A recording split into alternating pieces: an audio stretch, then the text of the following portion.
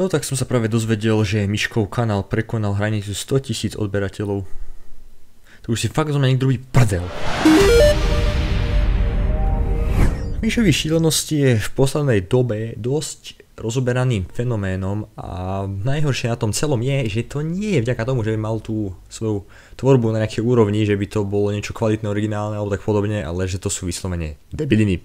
Uh, dosť ma to zaráža, neviem ako to môžu ľudia pozerať, a zaráža ma na tom aj tá okolnosť, že aký môže byť ten jeho starší brat otrasný, keď je schopný v podstate ho takto zneužívať, hej. E, vyslovene robí z neho svoju bábku, postaví ho do videa, aby to bolo čo najtrápnejšie, e, potom to nejako zostriha, zedituje to, hodí to na internet a už sa videnia sypú, pretože ľudia v dnešnej dobe milujú hovadiny na začiatku to bolo celkom nevinné, pretože ten jeho kanál skoro nikto nepoznal a keď vydával tie svoje prvé videá, ktoré boli fakt o ničom, tak mu tam ľudia väčšinou písali aspoň, že kámo prosím ťa vykašli sa na to, nemá to zmysel.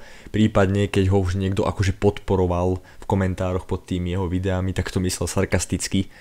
No problém nastal, keď vydal Minecraft Song. To bolo jeho prvé naozaj virálne video a vtedy sa jednoducho všetko posralo Začali ho zdieľať väčší youtuberi niektorí, za čo im fakt môžeme byť vďační, tí kokso, pretože oni pomohli stvoriť Monstrum.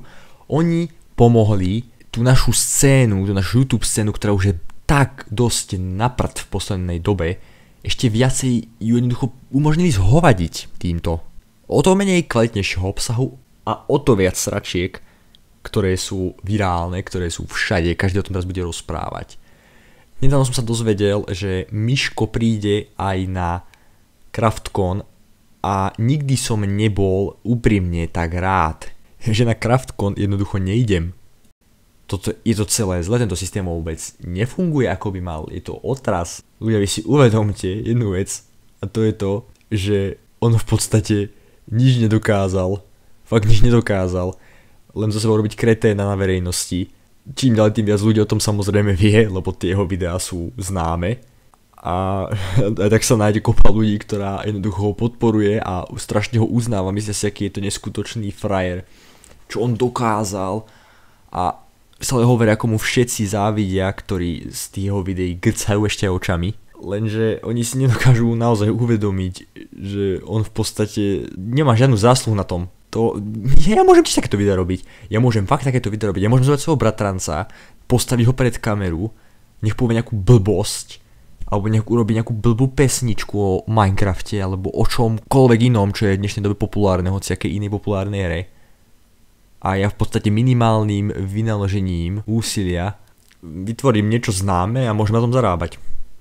Viete, ako sa niektorí ľudia musia cítiť, Takže mne osobne to už je celkom jedno, pretože ja už určitú základňu fanúšikov mám, ale niektorí ľudia majú neskutočne maličko videní, snažia sa robiť fakt originálnu tvorbu a potom príde niekto takýto so svojím bračekom, z ktorého robí úplného debila, proste náže s ním hociaké kraviny na YouTube, také videá, že sa až niekedy človeku nad tým rozum pozastavuje a boom aj hore rýchlo kvaška jak vyšitá. Jednoducho je na vrchole, všetci ho poznajú, všetci ho riešia, všetci ho zdieľajú. To čo má byť, toto je taký chorý systém.